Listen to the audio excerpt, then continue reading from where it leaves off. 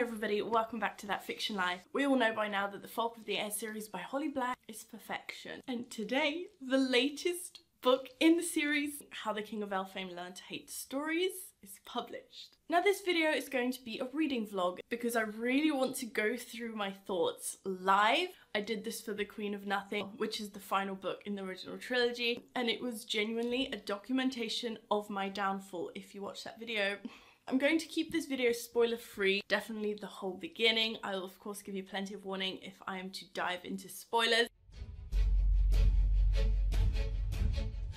I'm assisting on the marketing campaign for this book. It is a dream come true. Being a Hot Key Books ambassador has been the greatest experience so far. So yes, that's why I have the book early. It has been in my house for about a week already, but I was reading These Violent Delights by Chloe Gong. It is fantastic but I needed to get that review out first and so I had to just resist. All I did was just do a flick through like this so far. This is illustrated by Rovina Cai and she is phenomenal. This cover is so beautiful.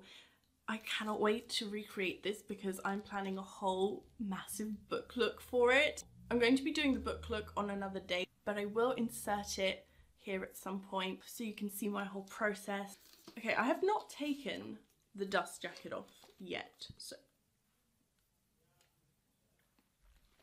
This is a hardcover, but it's one of those hardcovers that's really heavy because of course this isn't fully illustrated book which means it has coloured pages and so you can't really just use the normal book paper as the quality wouldn't be as high. We have the map of Elfhame here. I so want to move there. Oh, Locke's estate. Yeah, that should burn down. I have the coolest thing to show you by the way. So this is what it looks like. I bought some wire and I twisted it into this shape, super glued some beads to the side. So I would just like to say that I'm an official member of Elfhame now. I will not be taking any questions at this time.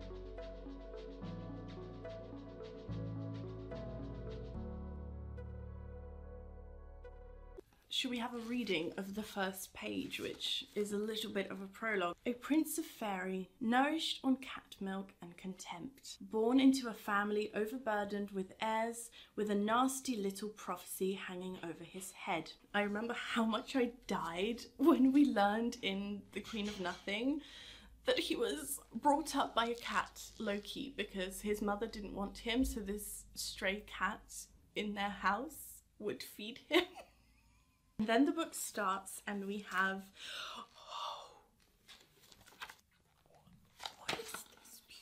The King of Elfhame Visits the Mortal World is story number one. So I believe this is a novella bind up. I didn't know that initially. I thought it was going to be a full-on book. Do we all remember when Cardan visited Vivi in The Queen of Nothing because he went to see where Jude was and when he was learning about all the human things that exist and how he traveled there, it was so funny. It has been some time since I read Queen of Nothing, so I wish this book had timestamps. Oh, okay, so we know, okay, this story is set after Queen of Nothing. He cuts his gaze toward his unpredictable mortal high queen. They are goals. Okay, this I've read two pages and I'm not alive anymore. They are two people who ought to have by all rights remained enemies forever. So I've just read the first story and I love seeing how Cardan sees Jude because he seems very in awe of her and almost as though he can't imagine that she was willing to love him after all that he has done and even he himself says having only recently stopped playing the villain and what I find fascinating about the wording here is that he stopped playing the villain. You know, not being the villain, he fully admits here that he was putting on an act. And that's something I really appreciate about his character because he does have this very steel like exterior. He does claim that he has no emotions about anything and he's so carefree, but it's all just an act. Another favourite thing of mine is how Jude hasn't changed at all she's still very much consumed with power as she was in the original trilogy. And I love this line here all queens become greedy. The way Holly Black writes is unlike anything any other author can do, in my opinion. She writes these very morally ambiguous characters very well, and they're not shy about wanting the power that they have. I love how Jude and Cardan still appear to not fully understand their relationship and kind of both be very confused as to how they have ended up together.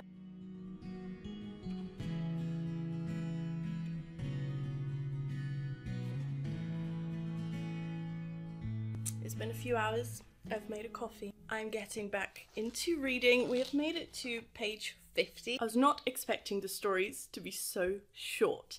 They're genuinely a few pages each, so they're not really stories. I would say that they're a collection of scenes. So despite the stories being very short, I am gaining so much knowledge about Cardan, and his inner thoughts are very different to what I thought originally, especially reading the main series, because you're only exposed to what Jude is thinking and her interpretation of what his actions mean. So in story three, we have Balekin making an appearance, and he says to Cardan, hear this out. I brought you here because you are one of the few people who see Dain for what he is, and are therefore valuable to me. I think we've all been curious for the last three, four years as to why Balekin was the one to take Cardan in. And now we're beginning to understand a little bit that he firstly wanted to use him against Dain, and secondly, he had to give Cardan a makeover. So we knew that Cardan didn't have the greatest upbringing. However, seeing that he was actually a mess, didn't care about anything, he wore the most scruffiest of clothes, and he didn't enjoy any of the court activities that were going on. In The Cruel Prince, we're introduced to a very flamboyant and enigmatic prince. I also encountered what I think is my favourite illustration so far, and that is Queen Orlagh and Nicasia entering the Elfhame court for the first time. We of course know that Nicasia lives in Elfhame, and she to me is one of the most fascinating characters in this world because she's been sent to the Feylands in order to wed one of the princes to become queen of the sea and land. The queen sending her there definitely had an effect on her because Cardan even said so himself. She has had bloodlust sort of become part of her DNA and it's a huge part of her upbringing. And this is my favorite part about this series because all of these characters are so damaged. There's a reason as to why each of them behave the way they do. And you may judge Nicasia. I mean, she does some crazy shit in The Cruel Prince. But then when you begin to understand that she's kind of a tool to her mother. Nicasia's and Cardan's situations are different to how Valerian and Locke behaved.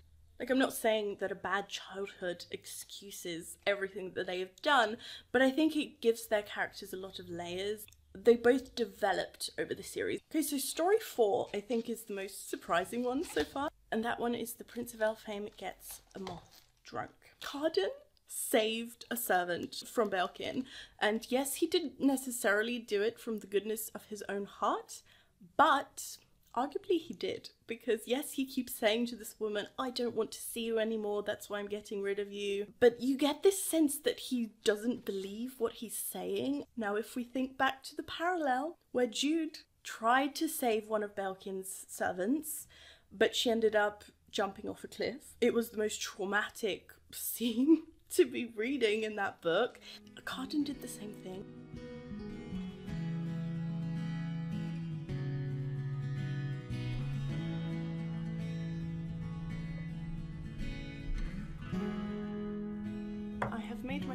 Fairy cocktail from my recipe that I created. In the original recipe I also put blue food colouring but that is just for the aesthetic and I didn't want to bother with that just for my reading drink but it tastes so good.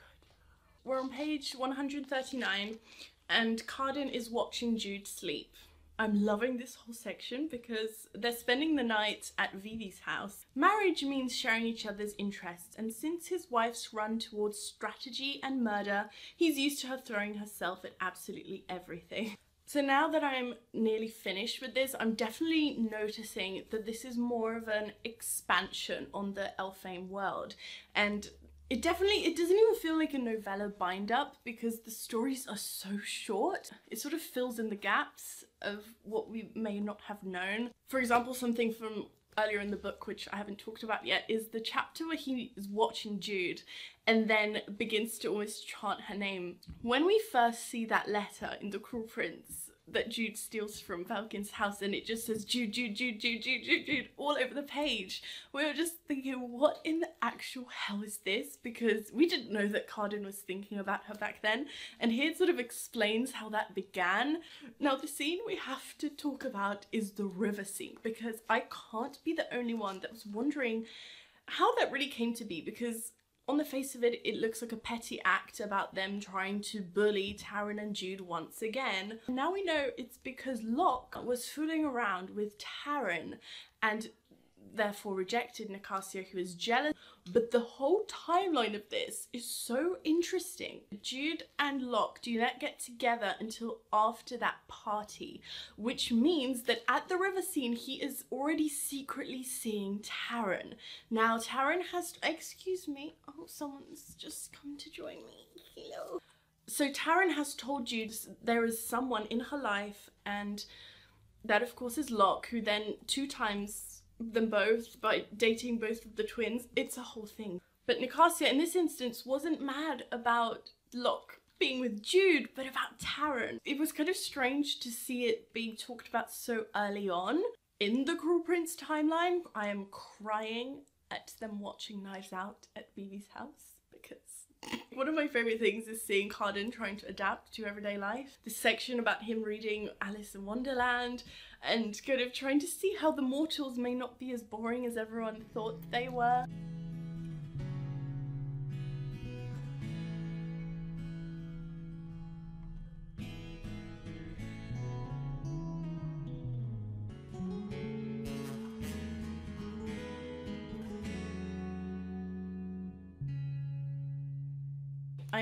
The book.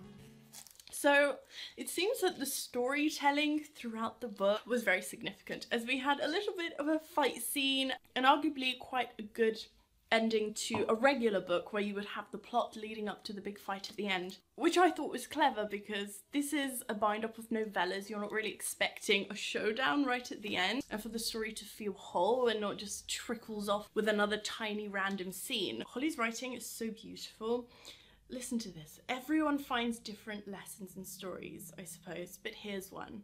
Having a heart is terrible, but you need one anyway. Stories can justify anything. It doesn't matter if the boy with the heart of stone is a hero or a villain. It doesn't matter if he got what he deserved or if he didn't. And then Jude finds him after Aslog tries to kill him. I cackled when he said, Henceforth, I think we should consider our roles as monarchs as largely decorative. He really doesn't want to be high king, does he? So love the final line, so long as you're begging. Oh, this conversation.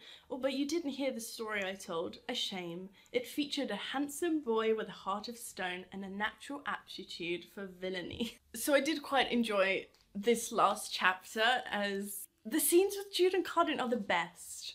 However, there was not enough of them in this book. I know that this book is called The King of Elfhame. It was supposed to learn more about Cardan, but I feel as though it's definitely lacking in the Jude content because she's such a huge reason as to why he is the way he is now. Showing us those scenes would have been great for their development. And I also wanted to know more about their relationship now because we know at the end of Queen of Nothing, they kind of had this vision for how they were going to lead their people. And I don't feel like we learned enough about that. This definitely felt like a filler book for this world, and that's okay because it's a novella, it's not another installment with a full on plotline.